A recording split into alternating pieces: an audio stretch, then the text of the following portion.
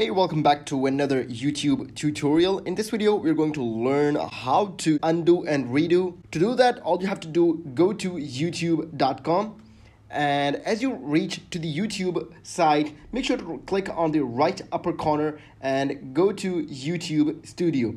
As you reach out to the YouTube Studio, make sure to select any particular video, go to the left side and click on videos select any video that you think you need to edit on it. So go and click on details. As you click on details on the uh, right on the left right left side you will find an option called editor. Click on this option editor so there you are at the YouTube video editor. So this is a very amazing option for people who cannot blur faces on the uh, on their editor like using an iMovie which is a really bad option. I, I personally use iMovie so I can't blur faces at all times.